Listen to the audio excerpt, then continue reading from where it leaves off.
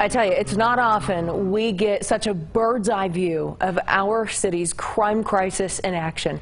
But thanks to a neighbor in northeast Albuquerque, a victim was able to pass along his terrifying experience from start to finish right to police and tonight also to you. Julie Frendak shares how one man's normal routine turned into a life or death experience right in broad daylight. Alfonso Gallegos has kept the same cardio routine for months. This is a very nonchalant, boring walk. I do this, I've done this for a year and a half, the same walk. But boring is the last word he'd use to describe Monday morning's walk. Sure enough, I just, I hear whoom, and then. His nonchalant walk quickly turned into running for his life. I, I get hit by this truck and the door is opened at the same time. So it was literally like I, you know, like I, I, flew. I literally like flew in the air. I got I got a little busted up. A neighbor's camera near Summer Avenue and Chama Street in Northeast Albuquerque caught the whole thing. You can see a white truck enter the frame and beeline for Gallegos.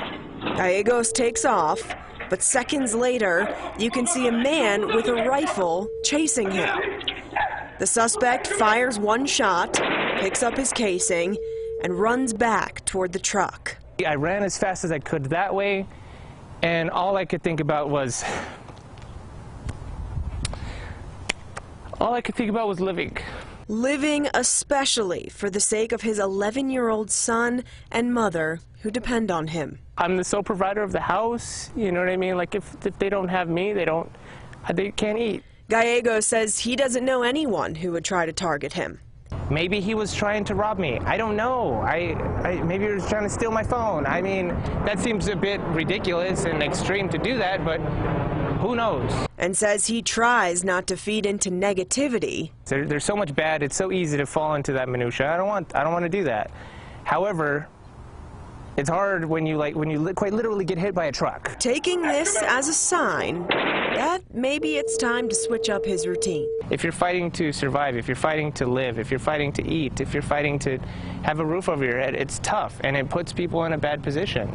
And then it puts people in a crazy, unpredictable, I'll do whatever.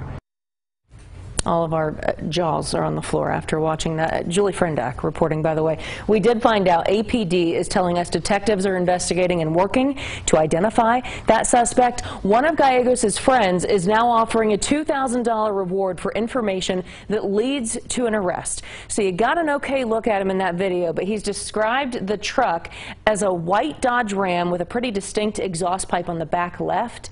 Bottom line, folks, if you know anything if you've seen anything, call police with any information.